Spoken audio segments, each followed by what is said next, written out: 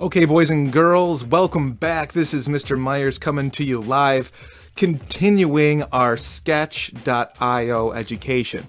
If you haven't watched my first Sketch.io video, please do that. I'll put the link to the video in the description. You're gonna need that knowledge before you continue on to this video. In this video, we're gonna expand on what we learned last time, and we're gonna learn how to use the paintbrush tool. Now the paintbrush tool, it's like the black hole of art tools. There is just so much that you can do using the paintbrush tool. And today we're gonna create a tropical sunset painting using the paintbrush tool and the path tool that we learned in the previous video. Let's get started.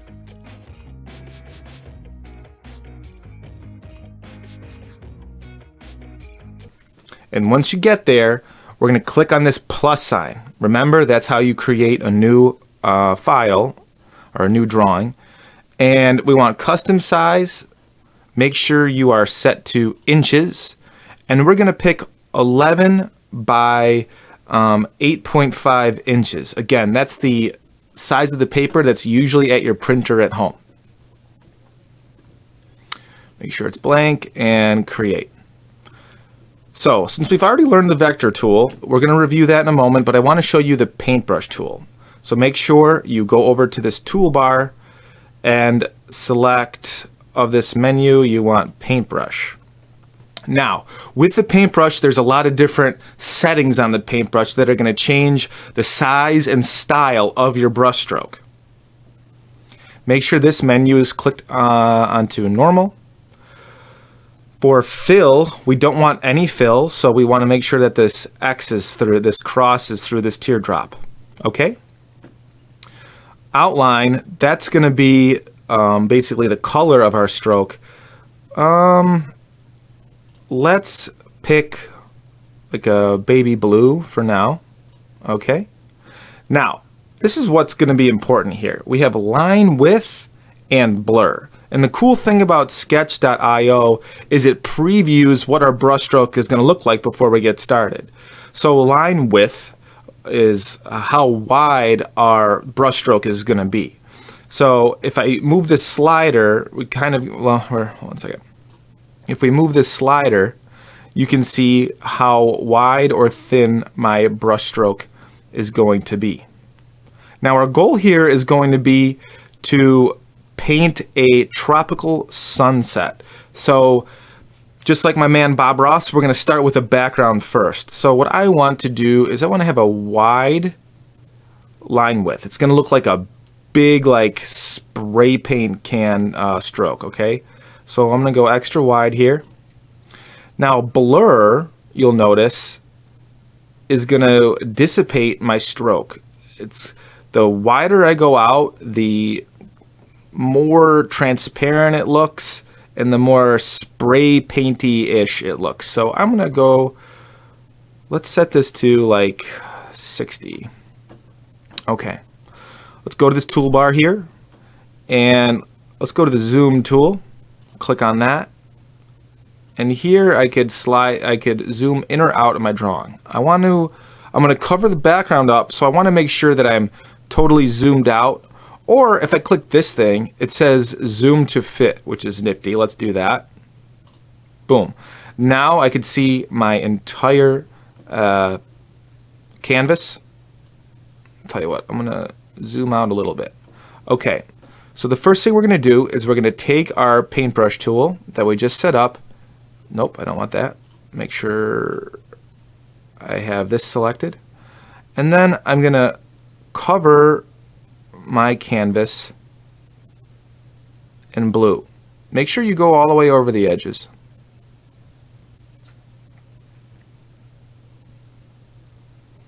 Okay, now I want a sunset. So I want different colors like orange, purples, magentas, okay? I'm gonna keep my line width and my blur the same. So all I have to do is go to outline, and I love magenta. Let's click on that. For my outline, I'm going to try to do a nice parallel even stroke like that. Tell you what, I'm going to increase my line width. Okay. Let's do a few more colors. I'm going to do an orange.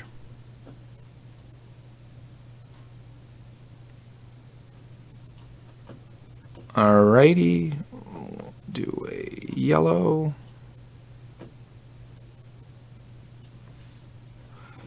If you want to undo something, remember, like I don't like where I placed that yellow, I could always go to layers and I could turn off my layer like that. That's what I'm going to do.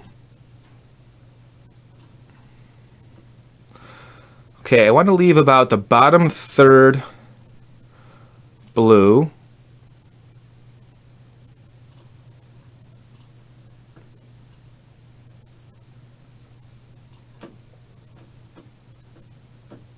If you grew up in the 90s like me, you would call this is like a Lisa Frank drawing. Okay, so I have my background.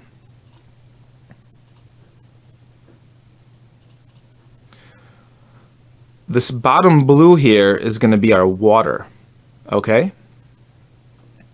So let's use a different tool. In your toolbar menu, you will see a star or another shape. Click on that. Click on the star over here again, and we could pick any shape we want, but we want to draw the sun. So I'm going to pick a circle. Now I want my sun to be orange, so I'm going to go to fill going to click color and I'm going to pick a dark orange, maybe a little bit lighter. Now I don't want a black outline around my sun. That would be a frightening sight. So I'm going to click an X through my outline. Now this these shape tools are similar to the path tool.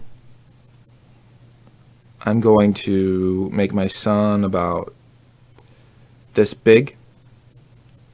You just wait, guys. This is going to be so cool. All right. Now I have an object, just like a path tool, that I can move around. Okay, make sure your sun is selected and somewhere in the middle. Bear with me one second. I feel like I have too much water. I want more sky.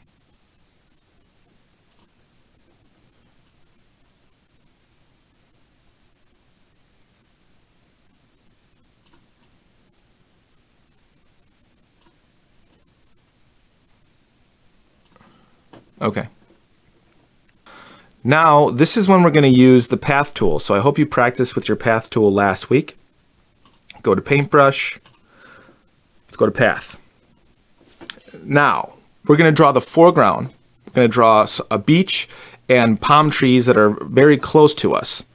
And believe it or not, those are going to be black. So we're going to go to fill, turn that on, go to color, select black, Outline, I do not want an outline, so I'm going to turn it off.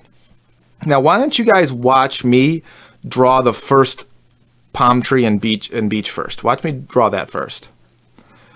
So our beach foreground.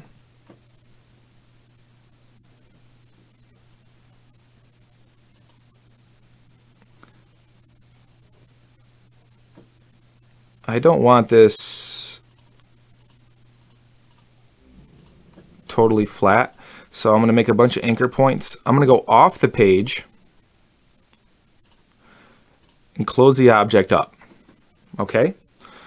So now I have a beach. And you're probably like, Mr. Myers, what are you talking about? I've never seen a black beach before in my life. Well, maybe we're in Iceland, but we're going to have palm trees, so we're not in Iceland. Just follow along.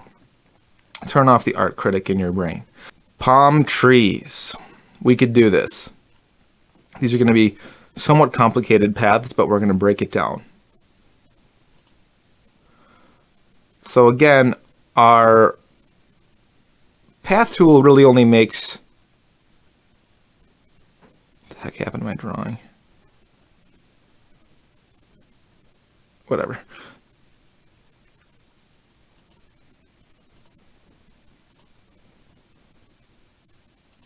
Our path tool really only makes straight lines, so we want a lot of anchor points to kind of make the illusion that it's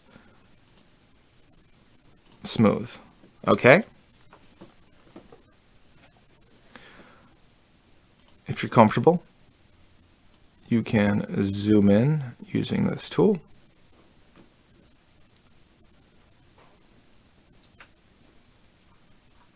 The wheel on your mouse might do that as well. So palm tree leaves, let's go. If you click your anchor points and slide at the same time, so I'm clicking down and I'm moving this little like lever over, you could curve your path lines.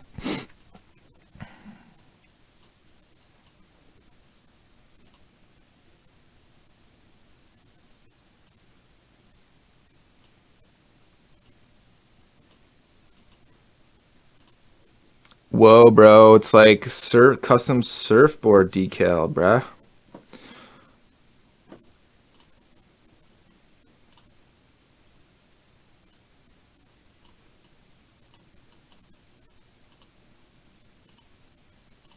Pretty cool.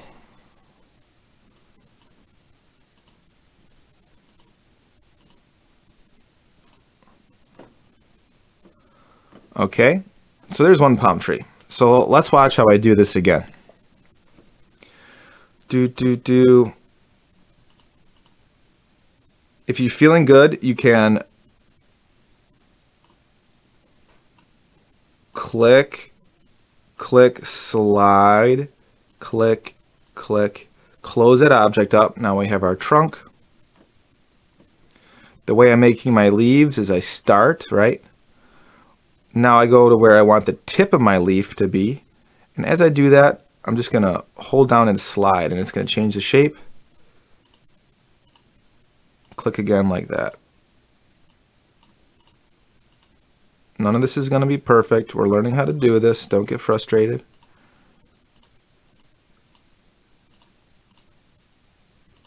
Oops, like that one. That was not a perfect leaf.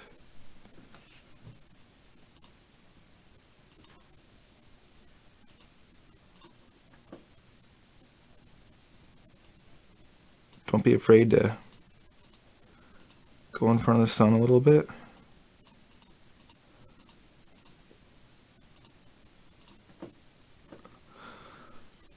That's kind of a whack looking palm tree, but what are you going to do? All right. There we have it. We have a tropical sunset using sketch.io. So this is how we did it. We Use the paintbrush for the background, making sure we had a, a wide uh, line width and we had a, a, a wide blur. Then once we did that, we created a circle using the circle tool at the toolbar. And then we used the path tool to create the foreground um, with the beach and the palm trees. Now, if you're feeling totally wild and you're absolutely ready to uh, take over uh, the art world we could go over to clip art.